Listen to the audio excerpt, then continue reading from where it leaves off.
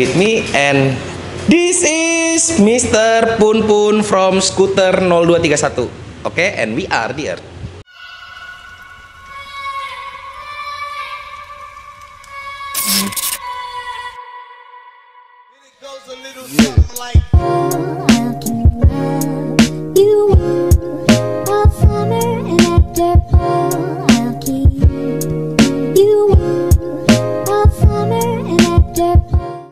Jadi berhubung sudah kisaran dua minggu ya ayah, kurang lebih gitu kurang kurang lebih dua minggu kita saya lebih tepatnya ingin menjemput kekasih saya alias si Abu ini datang ke bengkel Vespa nomor satu se-Cirebon.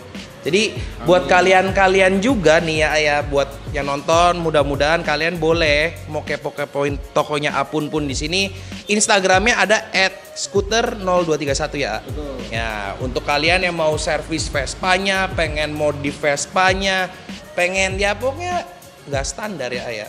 Atau nggak maintenance juga bisa kan kak? ya dari Itu- standar sampai uh, Modif, modif gitu engine, engine oke kita Oke, bisa jabanin buat. semua. Jadi buat kalian juga pengen balap-balap pakai motor Vespa kan sekarang lagi hits banget tuh. Ah, bener nggak? Balap Vespa 500 meteran ya Wah, kan? wah Gimana tuh? kalau misalkan 500 meteran kayak gitu uh, istilahnya uh, ini kan spek Vespa tuh uh, mau buat harian apa mau buat uh, enak nyaman dipakai Mhm, mhm. terus ada buat spek 500 kalau Ah. spek 500 eh, apa namanya 500 meter gitu 200 drag lah istilahnya kita uh, jabannya di tepatnya Oh, nggak boleh gitu. untuk di liaran, Liaran di gitu jalan nggak bisa ya?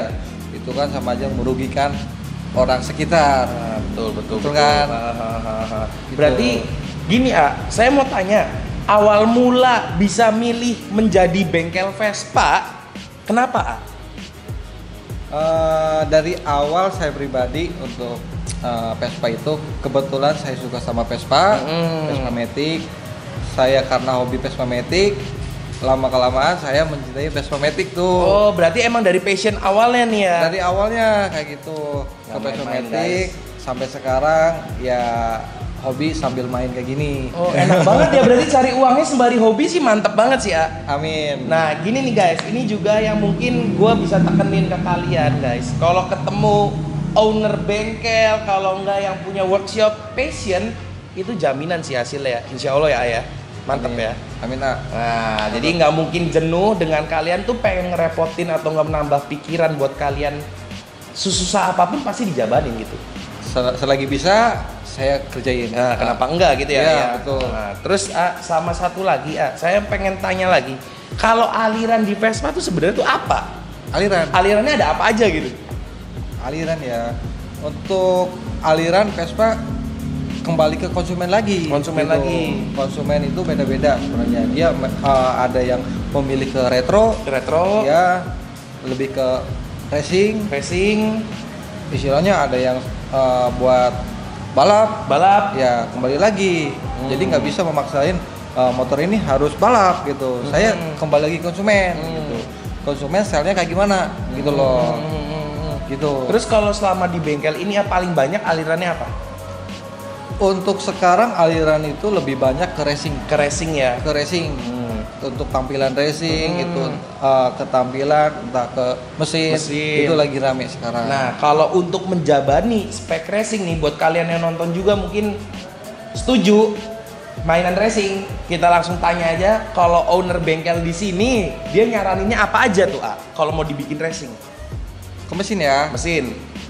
Uh, untuk mesin itu biasanya kebanyakan dari mainan kiri itu dari CPT. Mainan kiri. Bagian CPT itu, bagian CPT, tak variator, kampas, panbel, Mhm. ya roller lah istilahnya Mhm. bagian CPT itu. Tapi kalau misalkan memang udah masih kurang, Mhm. nanti main ke bore up kit kayak Mhm. kayak Malosi, Polini itu uh, recommend Oh. VNP bro. Jadi kalian kalau mau main engine kiri dulu, Kiri baru bore up. bore up. Nah, sama Gitu. saya tanya lagi, A. Kan Boleh. ada part tuh ibaratkan ada part lokal sama part luar gitu. Itu kegunaannya kalau kayak dari segi harga kan tahu sendiri ya, beda banget gitu. Jelas. Bedanya gitu kan jauh sekali. Nah, Jelas. itu kalau kegunaannya gimana, Kak? Untuk kegunaan part ya, Hmm. sebenarnya lokal maupun impor itu sama-sama bagus. Sama-sama bagus. Sama-sama bagus. Hmm. Kembali lagi Ke gengsi, ke gengsi iya, terus ke dompet iya. dompet, Betul waktu, nggak? waktu, Iya. waktunya gini. Waktu itu Hmm. nggak bisa sama-sama bagus. Kembali lagi konsumen. Ada waktu berapa gitu loh. Hmm, waktu berapa? Iya, ada waktunya berapa. Hmm. Nggak bisa kalau konsumen harus eh, harus yang bagus, Hmm. tapi konsumennya istilahnya eh, belum mumpuni, eh, Iya. belum mampu lah istilahnya. Hmm. Jadi kembali lagi konsumen itu. Hmm, berarti selera dan kemampuan kon- konsumen lah ya, ya, Betul, ya. betul. Oke, berarti ini ah, kalau misalkan kita bicara yang lagi viral sekarang kan sesuatu yang paling murah tapi bisa luar biasa hasilnya. ah. Kalau bore up, misalkan nggak usah bore up lah, kita mainan Vespa standar dibikin kenceng gitu. Paling minimum budget berapa? Vespa standar dibikin kencang. Misalkan standar nih, Iya. mau dibikin sedikit ya centil lah, genit lah mainan mesin gitu tuh. ah. Ya, buat- paling murah berapa? Buat harian ya. Buat harian. Buat harian itu di angka eh, untuk lokalan part lokal itu sekitar 500. Mm-mm. Untuk part impor semacam kayak yang Polini, Malosi Mm, di atas brandednya. Ya, brandednya itu di atas satu juta. Oh gitu. Itu buat upgrade harian biar Hmm. Biar Vespa nggak terlalu Berat. eh, berat banget. karena balik lagi bodinya Vespa besi. Besi, Nah, betul, lah. Jadi buat kalian juga jangan mau ditipu-tipu sama orang. Kalau Vespa kalian standar diaduin sama Mio standar ya, ya karena bener nggak bisa Ya. dibilang gitu kan? Vespa kan berat. Betul. Kalau karena- deket-deket nggak mungkin. Iya. Makanya di drag juga mungkin 500 meter baru afdol ya. Bener nggak? kalau saya pribadi untuk 200 meter, 300 meter itu bengkel kita belum sih A. Belum. Belum. Hmm. Tapi di sini banyak yang bore up itu bore up kit malosi, itu Hmm. berkolini, entah itu eh, bikin sendiri. Hmm. Itu tujuannya bukan karena buat balapan. Buat ngeenakin pakai. Ya, karena dia untuk menikmatin pakai Hmm. istilahnya, istilahnya. Banyak konsumen kok yang lebih cerdas istilahnya. Kalau mau balapan, ya mending pakai moge gitu Betul. Kalau nggak moge dua takan kali ya. ya. Wih, dua tak. itu Dua saya tak. di depan tuh lihat ada dia juga nyimpen dua tak ternyata guys ya. Jadi gimana nih A? Kalau suruh hati milih nih, pilih dua tak atau Vespa? Kalau dua tak. Kalau Hmm. Vespa, Iya. ya itu tuh udah isi istilahnya udah udah masuk ke darah saya dua tak Oh. gitu. Walaupun kalau moge kan belum belum belum belum beli. Oh, waktunya Ya, belum ada. Waktunya belum ada. Cuman jujur untuk dua tak saya emang suka dari awal. Sebelum Hmm. Vespa saya memang mainan dua tak. Oh gitu. Awalnya itu makanya Sekarang kan lagi hits banget tuh A dua tak tuh. Harga. Harganya juga lagi mahal-mahal lagi kan partnya. Iya. Nah, kalau untuk merawat Vespa sama dua tak lebih susah mana? waktunya lebih susah Vespa. Vespa ya. Betul. Kalau Vespa eh, istilahnya eh, untuk saya juga mainan Vespa itu 2013 Mm-mm. itu baru mainan Vespa. Cuman ya loh kok part Vespa kok kayak gini banget Hmm. gitu. Istilahnya eh, lebih mahal lah istilahnya Harga-harganya, harga-harganya gitu. Oke. Cuman itu lebih mahal itu eh, sesuai dengan Hmm. harga Hmm. dia untuk keawetannya untuk Ada harga, ada rupa lah. betul semacam kayak gitu Berarti untuk itu guys Vespa. pertimbangan lagi. Jadi kalian jangan sepenuhnya apa-apa soal bicara mahal ya ya. Vespa itu mahal sebenarnya Mahal enggak. atau murah tuh relatif, bener nggak? Balik lagi ke fungsinya Iya. dan ngerasain di kitanya tuh seperti apa. ya Jadi itu sangat ditekankan dalam modifikasi guys. Jadi buat kemarin-kemarin juga mungkin eh, di gua nih ah, ada ibaratkan orang yang mengkomparkan suatu kreasi dengan harga.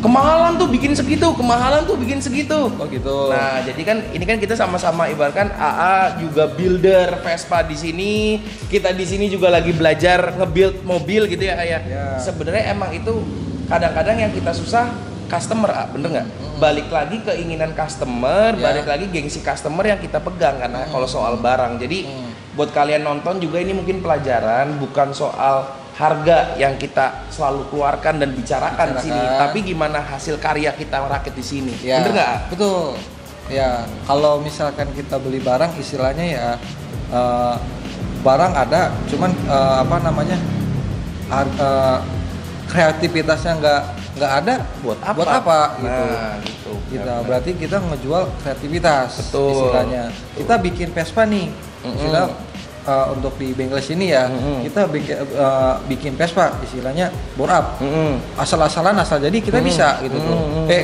eh, mungkin orang lain bisa Hmm. gitu cuman untuk kita kita bisa nggak bisa asal-asalan Hmm. udah pakai eh, istilahnya pakai Jepangan lah Hmm. inilah Eh, untuk kita itu nggak mau Hmm. istilahnya kita mempertahankan ini Vespa bukan Jepangan gitu Betul. istilahnya eh, memang kalau memang waktunya belum mumpuni Mm-mm. jangan memaksa lah Hmm, gitu. Waktunya guys ya. Ya. Jadi balik lagi kalau di Vespa itu kalian harus bener-bener siap mental, bener nggak? Ya, apalagi kalau udah beli Vespa, istilahnya harus mampu dong. Harus gitu. mampu ya bayar Waktunya. nebus segitunya gitu ya. Waktunya. Nebus waktunya kalian kuncinya harus mampu. Iya. Dan ya. kebenaran guys, ini di belakang kamera tuh ada salah satu pemilik motor ini nih, yang warna hijau ini nih ya. Si Aquaman nih ada di belakang, tapi nggak kita publish di sini. Mungkin nanti footage ada kita tunjukin mukanya si owner. Nah sambil kita ngobrol-ngobrol lagi lanjut ah, ini di belakang ada tiga Vespa ibaratkan rakitan bengkel sini gitu. Kalau boleh diterangin ah, satu-satu speknya gimana sih? Ini sebenarnya satu aliran atau gimana nih ah, dijejernya bareng-bareng begini nih? Ya, Gimana tuh ah? kalau yang kalian lihat di belakang ini, Mm-mm. istilahnya eh, memang lagi musim-musim selnya kayak gini. Hmm. Jadi dia eh, racing tapi rapi, Clean ya berarti clean ya? gitu. Jadi eh, untuk eh, aksesorisnya dia kekinian semacam kayak pakai Brembo Hmm. eh, itu dari after after apa namanya dari aksesoris Cieloni, Hmm. Marus itu ada semua gitu. Tapi berarti ini alirannya tuh clean ya?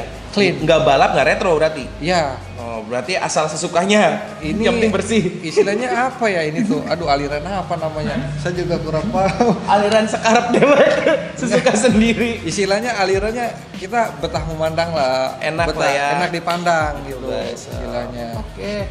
Terus buat kalian juga nih guys, nih pertanyaan killer mungkin terakhir.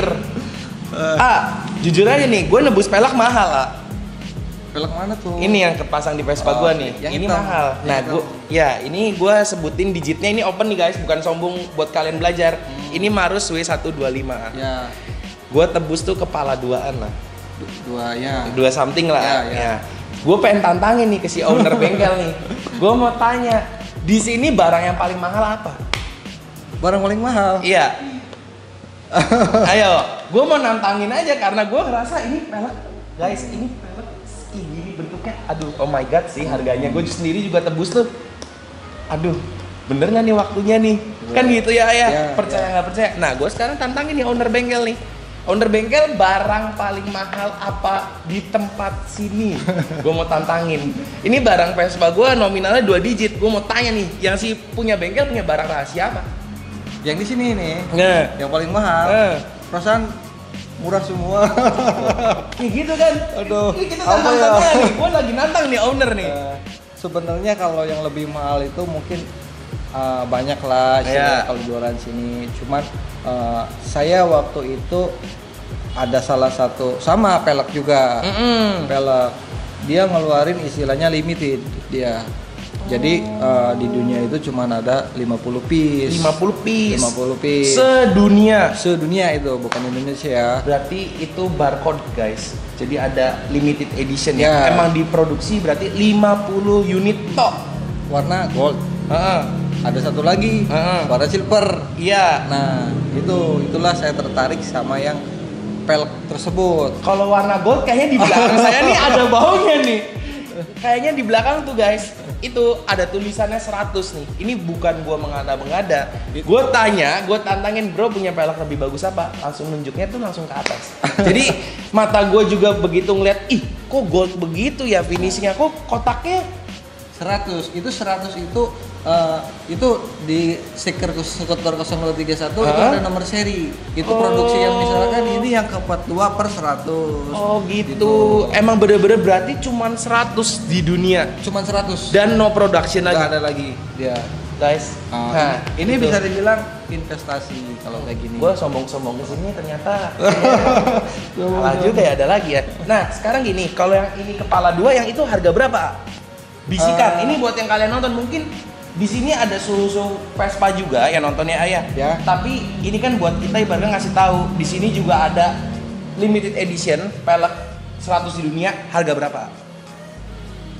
Kebetulan waktu kemarin saya nyetok cuman ngambil dua piece, Dua. dua piece. Mm-mm. Yang satunya memang udah sold sendiri sama Mm-mm. teman saya sendiri di Cirebon ada yang pakai. Di Cirebon udah ada yang make. Ada, ada yang pakai. Dik, gua nggak mau belagu-belagu lagi. Ternyata ada yang lebih gila dari gua sih. Ada, ada yang udah dipakai, motornya memang nggak pernah keluar. Nggak pernah keluar. Nggak pernah keluar dia. Oh. Motornya cuma dipajangin, paling dari rumah ke bengkel, rumah bengkel doang. Buat kayak servis, kalau nggak jalan-jalan nyantai aja kali. buat manasin. Manasin doang. Motor. Gila sih, ternyata Cirebon ya. Tuh yang buat di luar sana. ya, Ya, semoga nanti kita berjumpa dengan Vespa yang keren itu di Cirebon. Kita tintin, salam Vespa ya ayah. siap. Balik lagi ini nominal berapa nih? Gue pengen tahu banget ini nominal berapa nih? Pelak sekecil itu berwarna gold limited edition berapa? untuk harga ya, saya Ya. bingung untuk harga. Digitnya aja. Digitnya. Digit awalnya doang. Digitnya itu menyentuh 40. Guys, dua kali lipat harga pelak gua. Ya. Digitnya hampir menyentuh 40. Nah, kemarin juga memang ada yang mau itu eh, ada penawaran lah, istilahnya dia Hmm. nawar, cuman istilahnya saya nyimpan ini memang karena memang buat istilahnya buat investasi. Investasi. Iya, kalau memang mau segitu, mangga gitu. Kalau enggak ya simpen sendiri. saya buat pajangan gini. Wah gila sih guys. Kalian bayangin dong, Pajangan. pajangan senilai kepala 4 itu ih, wah gila sih emang. Ini bengkelnya gua ngomong aja diem-diem matil guys kalau bahasa gua gitu. Jadi diem-diem diem ternyata gila nyimpennya begituan ya. Waduh, terus sama itu ada part-part? Zelioni banyak banget ya kan. ya banyak itu di sana. Nggak itu juga ada banyak. Brembo tuh.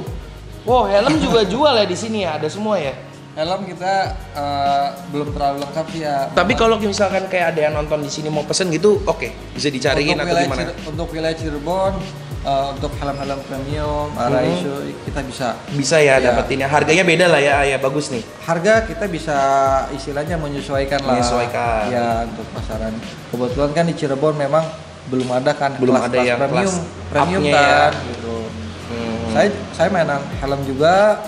Kalau misalkan mau sharing-sharing tentang helm, mau konsul tentang helm, boleh main ke sini. main ke sini guys, tuh ownernya udah mengajak kalian semua kalau warga Cirebon atau luar kota juga lagi mampir ke Cirebon kepo bengkel Vespa di Cirebon seperti apa, boleh langsung datang ke sini di Boleh. jalan. Oke, ini dipertegas Sutomo guys. Sutomo nomor 45. Sutomo nomor 45. Jangan lupa ada di Waze kalian pasti nyampai. Google Maps juga ada. Ada. Dan kalau Instagram ini bengkelnya udah terkenal ya. Jadi nggak mungkin kalian nyasar di Cirebon.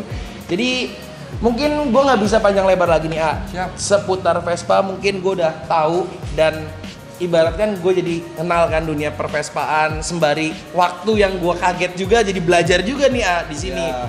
Jadi awalnya tuh gue emang koleksi dua tak A Duta. gue demen banget motor dua tak sampai akhirnya ada temen gue yang ngomporin ayo coba mainan Vespa Vespa. pertamanya nunjukin tuh yang roda tiga ada di sini nih pertama suruh beli ini MP3 kalau nggak salah bener nggak? MP3, MP3. Nah cuman gue tuh sebelum kenal lu nih ya, gue tuh agak sedikit takut ini servis bakal di mana, Hmm. bener nggak? Apalagi ini roda tiga yang ibaratnya di Cirebon tuh, aduh rare banget ya, Iya. jarang banget gitu. Dan ini sebelum closing guys, saya mau tanya, barangkali suatu saat saya ada rezeki ganti MP3 gitu, MP3. sebenarnya ngerawatnya susah atau enggak?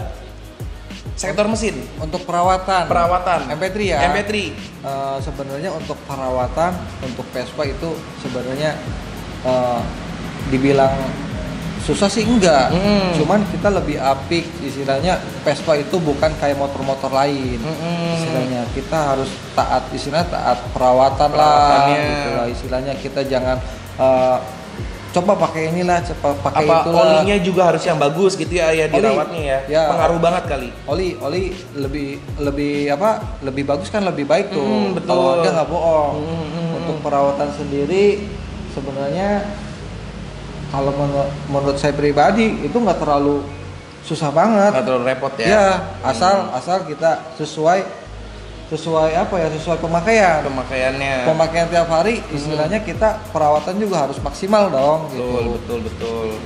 Jadi tetap rekomend lah ya nggak Betul. aman ya kalau misalkan nanti suatu saat gua punya nih nggak apa-apa nih ya. Harus, gua repotin punya. di sini. Soalnya lucu ah lihat roda tiga. Nah gua mau tanya lagi ya kalau misalkan ini roda tiga beli peleknya gimana? Dua set gitu. Yang 40 juta kepala 42 gitu 80 juta satunya di pajangan. Atau gimana nih? Gua nggak ngerti nih. Harus gimana nih? Kalau mau sultan sultanan di MP3 gimana nih? Atau ada satu pelek entah dari Marus, Yelioni, entah dari apalah apalah jualnya tiga atau gimana nih? Ini kan karena roda tiga nih guys. yang marus ya eh yang apa yang eh, apalah Marus yang resingan ya. ke, yang gantian gitu tuh. Apa harus belinya dua set? Kita pakai tiga, disimpan satu buat spare tire gitu? Eh, sebenarnya sih nggak perlu. Gimana sebenarnya. Kalau untuk part ori Vespa itu sebenarnya kan ada tuh jualan satuan. Kita bi- bisa beli depannya aja, belakang aja itu bisa. Oh. Terkecuali Marus, Jeloni, eh, Je- Marus, Marus, Jeloni itu satu set, Berarti kalau emang buat MP3 harus belinya dua Dua set, set. dua set. 40 juta jadi 80 juta. Iya. Satunya pajangan. Pajangan. Oh gitu ya, jadi gitu guys. Itu kerepotannya kalau kalian MP3 mungkin ya ya. Battery. Karena peleknya tiga guys, bukan kayak motor main begini doang nih biasa nih dua nih. Jadi tiga. Nanti footage ada, gue perbanyak masukin informasi ini. Suhu Vespa ngomong ya udah terpaksa harus beli dua set. Mau nggak mau bener nggak? Nah, kalau misalkan memang bodo, eh, satu set juga kan eh, le- yang depan kan lebih lebih nonjol banget Berarti tuh. dipasangnya dua-duanya ke depan. di depan semua. Berarti gitu guys, nggak jadi beli dua set ya, satu set aja taruh depan, belakangnya polos standar. Yang belakangnya ya nanti. Nanti terasa terasingkan gimana ini terasingkan gitu kan? Nggak bercanda guys. Jadi ini balik lagi gue cuman bercandaan ya soal MP3 ini tapi mudah-mudahan juga bisa menambah wawasan-wawasannya ayah. Kita ngobrol-ngobrol di sini seputar Vespa Matic. Gue perkenalkan ke kalian warga Cirebon wilayah 3 jangan takut untuk membeli Vespa. Betul. Karena di sini udah ada tempatnya selain dealer mungkin ya ayah, kita di sini juga bisa nge-servisin. Kita servis, tune up, eh, perawatan. eh, PG bag Istilahnya itu lebih ke apa ya? Performance. Performance. Oke. Berarti di sini udah ada semua, jadi kalian aman. Dan gue selalu bakal doain Apun pun ini untuk membeli alat dyno. Dino. Dyno. Dino. Nah, kan Ah. asik tuh. Belum ada tuh di Cirebon tuh dyno motor tuh. Mudah-mudahan gue aminin ke depan gue bisa Amin. setting motor Ya. Rada kencang bersama dia di sini. Gue selalu doain. Amin. Makasih doanya. Ya karena ini juga gue thank you banget dulu buat kalian yang udah nonton nggak pakai skip skip jangan lupa subscribe karena subscribe itu gratis menambah wawasan kalian menambah kenalan juga ya, Ya, dan tentunya jangan lupa follow instagramnya at scooter 0231 ya Betul. ini Apun pun namanya ya, walaupun namanya sedikit aneh, tapi dia keren banget guys. Tuning motor di sini keren banget ya. Oke, mungkin gua nggak bisa panjang lebar lagi. Thank you A, Siap, sudah A, direpotkan. Thank you for watching and be the best on it guys. See ya.